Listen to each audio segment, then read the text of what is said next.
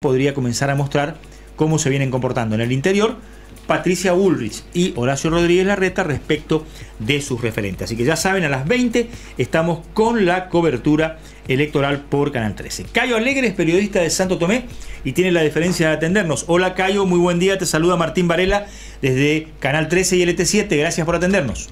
¿Cómo te va Martín? Buen día. Buen día, bien, bien, buen domingo para todos, saludos para todos los que están por ahí.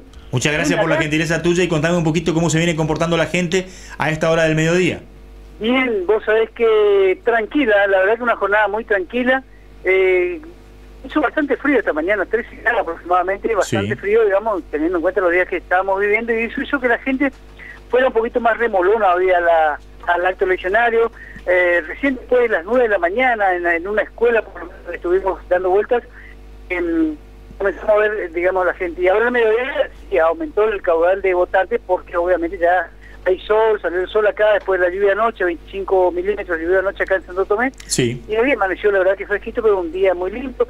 Así que bueno, acá, eh, como saben, se eligen cinco concejales titulares, ¿no es cierto? Y tres suplentes acá en Santo Tomé. Eh, claro, a, diferencia de lo que recién escuchábamos de Virasoro, ustedes tienen elección local para el Consejo Deliberante, lo que hace que haya un poquito más de expectativa en términos de movilización interna. Lo que ocurre en Virasoro es todo lo contrario, la cita se postergó para más adelante para hacerla coincidir con la elección nacional y nos decía Eduardo Aguirre que hay baja expectativa con un 15% de porcentual de gente concurriendo a esta hora del día. ¿Vos estimás en cuánto el porcentaje de concurrencia a esta hora de la jornada? A esta hora de la jornada calculamos ya 30%, 30%. aproximadamente de, de, votantes. Entonces, como decía, se comenzó a mover después de las 9 y poco de la mañana, por, suponemos que por ahí por el frío también, pero hay buena expectativa, ahora es, ahora es muchísimo movimiento, eh, muchos vehículos, este, mucha gente moviendo, movilizándose, eh, así que calculemos que va a haber un porcentaje importante de de votantes hoy en Santo Tomé, teniendo en cuenta, como decíamos, cinco concejales titulares, tres suplentes, once convencionales constituyentes que se eligen también hoy, ¿no es cierto? Ocho suplentes, debido a que, bueno, esa es la, intencionalidad, por supuesto, de reformar la Carta Orgánica, ¿no es cierto? Acá en Santo Tomé tenemos habilitados 23.089 electores. Este, son los que están habilitados. Hay 70 mesas en total, 60 corresponden a la ciudad y 10 mesas a los sectores rurales, por ejemplo. Eh, bueno, y son la escuela 141, escuela normal, eh, la escuela 141 tiene 11 mesas, la normal también la misma cantidad.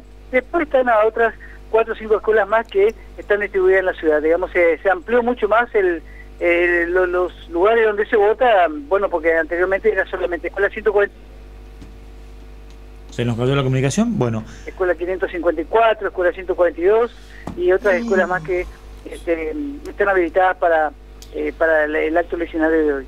Bueno, Cayo, te mandamos un abrazo grande y te vamos a volver a molestar. Gracias por la gentileza y la cobertura. ¿eh?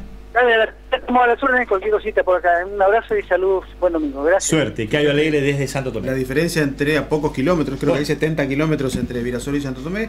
30% la participación local. El doble, el doble de votantes. Cuando tenés también